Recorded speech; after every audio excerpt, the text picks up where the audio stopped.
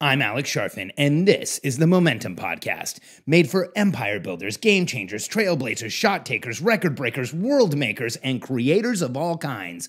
Those among us who can't turn it off and don't know why anyone would want to. We challenge complacency, destroy apathy, and we are obsessed with creating momentum so we can roll over bureaucracy and make our greatest contribution. Sure, we pay attention to their rules, but only so that we can bend them break them, then rewrite them around our own will. We don't accept our destiny, we define it. We don't understand defeat because you only lose if you stop, and we don't know how. While the rest of the world strives for average and clings desperately to the status quo, we are the minority, the few who are willing to hallucinate there could be a better future. And instead of just daydreaming of what could be, we endure the vulnerability and exposure it takes to make it real. We are the evolutionary hunters, clearly the most important people in the world, because entrepreneurs are the only source of consistent, positive human evolution, and we always will be.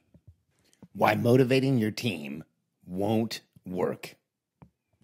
One of the questions I get mo- most often these days is how do I motivate my team to be accountable, to accomplish, to get things done, to finish their projects, to show up the right way in meetings, to be excited about things? And it, the question is asked in all different ways.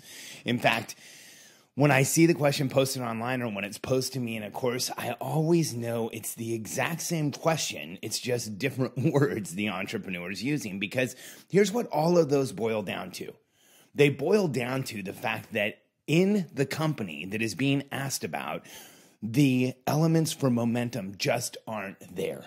And if you don't have the elements for momentum, it doesn't matter how hard you try to motivate your team, it just isn't going to work. And here's what happens today.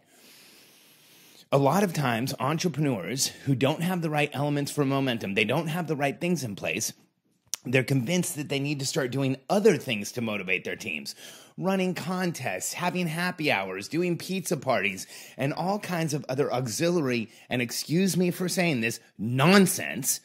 Because those things don't motivate a team to actually do better work. Those things distract a team from work that probably doesn't feel very useful or very fun. But that doesn't make sense because here's what you need to get your team into momentum. Forget about motivating. It's temporary. You can get someone excited for a short period of time.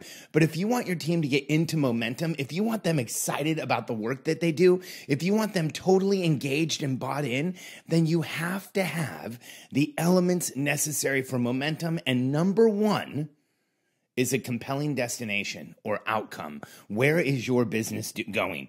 What is your business going to accomplish? What is that a compelling destination that every single member of your team believes in? Now, here's the challenge.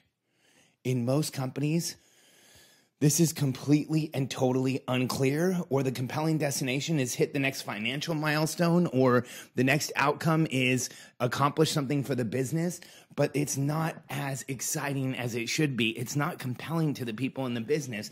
It doesn't make them want to drive forward, and it doesn't get them excited about what they're doing. You can change this immediately in your business. So here's how you make it so your compelling destination will consistently renew and your team will always be excited about it. You create a client centric mission. There's a full podcast on this, but you basically answer four questions Who are you going to help? How are you going to help them? What's the change you're going to make? And how will you know if you're successful? And any company can use a client centric mission like I just told you indefinitely to get your entire team excited. Because watch, for my business, if I said, all right, guys, this year, our entire goal, this is what we're going to do, we're going to make $5 million. Just listening to this podcast, you can feel the energetic transmission of we're going to make $5 million. It feels completely flat. No team's going to get excited about it. In fact, there's some very public examples of people who have thrown out revenue numbers and they're not doing so well. In fact, one of them is an organization Katie and I worked with a little when we were in real estate, Keller Williams Realty. We did a lot of work with Keller Williams offices and branches and regions, but we didn't do a lot of work with the corporate office. In fact, we did some, and it was a really challenging environment to work with. Um, uh, you know, Keller Williams has this uh, saying win win or no deal. And I used to joke around that their corporate office was we win, you deal, because it was really hard to work with them. And a couple of years ago, Gary Keller, one of the founders of Keller Williams, and now I think he's chairman or CEO, came out and had a stated goal that he wanted to be a billionaire. In, in fact, from what I was told, and this is, you know, third party information, but it's now pretty public, he went into a, a, meeting with his executives and told them their job was to make him a billionaire.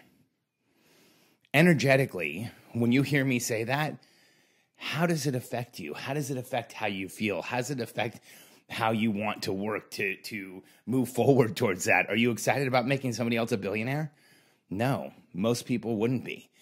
But here's what's exciting. What's exciting is when you have a client centric mission that gets everybody in your company excited about what you're doing and clear on your mission. I'll share mine. And remember, all I'm doing is answering the questions. Who are you going to help? How are you going to help them?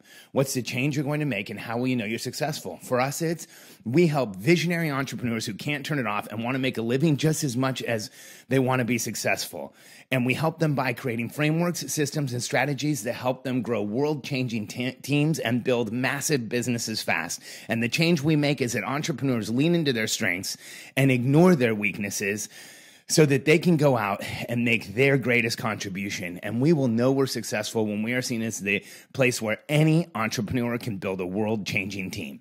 When I say that to my team, when we read it at the beginning of our targeted interactions each week, when we share it with other people, when we share it at conferences, we always get excited about it. And that compelling destination of helping entrepreneurs build world changing teams is what gets us excited and moving forward. Gary Keller coming out to his executive team and saying, You guys need to make me a billionaire. I don't know how excited it got him. There's been some serious turnover at that company.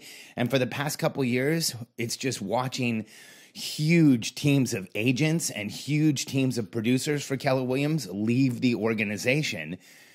And nobody can say it's tied to the fact that Gary told his team to make him a billionaire, but I can tell you from observation I believe it goes back to not maybe not the date of his announcement, but to that type of thinking. See, when you forget that you're working for your tribe, for the people you're helping, for the people your company affects, for the people your company's life changes, then it becomes very shallow what you're doing. And, and your team is not going to be compelled. So when you have a client centric mission, it changes everything. And here's what happens when you have a compelling destination and you give your team clear accountability. Here's who does what. And then clear perspective along the way as to whether they're moving forward. So, what are the scoreboards, the systems? What is giving people perspective as to what they're getting done? Because when you have these things in place, your client centric mission that your team's excited about, clear accountability so each person on your team can work without worrying about bumping into each other, and a clear scoreboard, systems that show you where you're going, you will not only motivate your team, you'll get them into momentum. And when people get into momentum, it's amazing what happens. Not only will your business grow, because that's we want your business to grow, but when your people, when your team gets into momentum, when there's a compelling destination, when they understand what they're going to do, when there's clear scoreboards, those three things need to be present. Here's what happens. You get your team's discretionary time. And this is one of those magical things about creating momentum. See, when you create momentum in somebody's lives, you take over a part of their subconscious and conscious minds.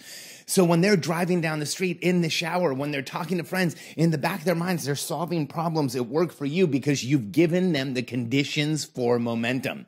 They will give you more time. It's almost like they can't help it, but they're going to want to because when human beings are in momentum, that's when we grow.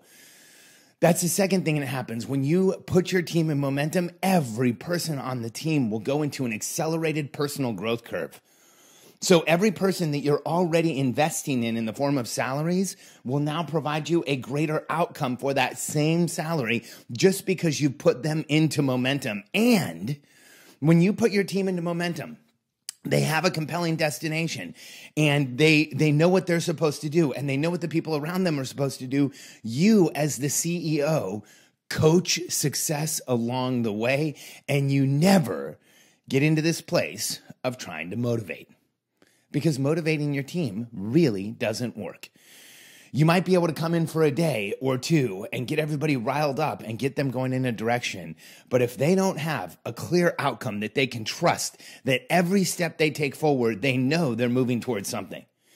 If they don't have clear accountability where they know what they're responsible for and the people around them are responsible, and if they don't have clear perspective to know that they are winning, your team will not be in momentum and you will find yourself asking one of those questions. How do I motivate my team? How do I hold them accountable? How do I put more systems in place? What platform should I use? What app should I use?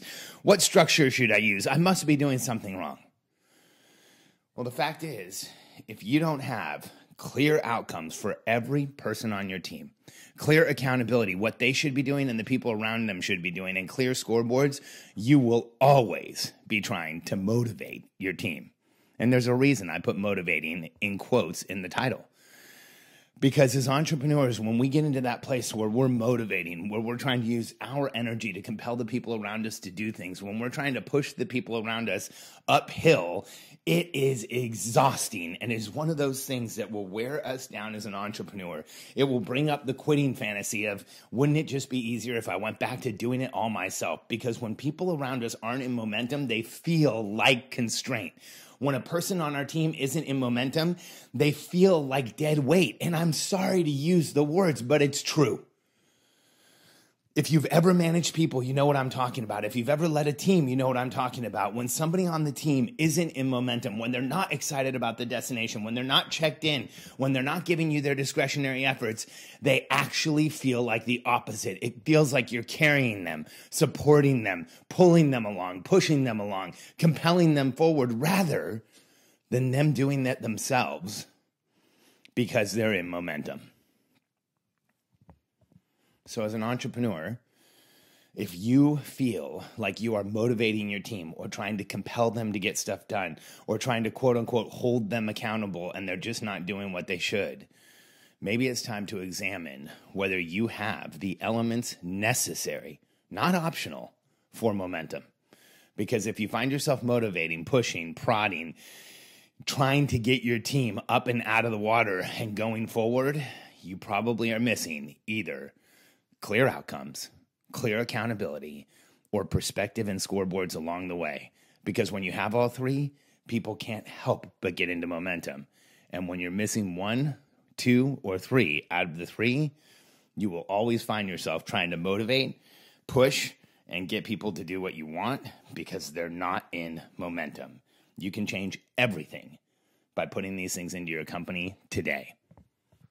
If you're ready to take your business to the next level, then we have some information for you that will help you understand exactly what you should be having your team do. What is it that you need right now? One of the biggest areas of wasted entrepreneurial effort is putting the right time into the wrong thing at the wrong time. Uh, sorry, putting time into the wrong thing at the wrong time. Far too many entrepreneurs are investing their time right now in elements and in items that they don't truly need to move their business forward from where it is today if you want to be focused on the right things at the right time, if you want to understand exactly where you are as an entrepreneur, if you want to know where you are on the path to entrepreneurial success, go to billionairecode.com, fill out a couple of questions for my team, and we will give you a full report on where you are on the billionaire code, what you should be focusing on right now to create the most momentum, and what's coming next so you can anticipate what you will need. Go to billionairecode.com answer a few questions, and we can't wait to connect with you.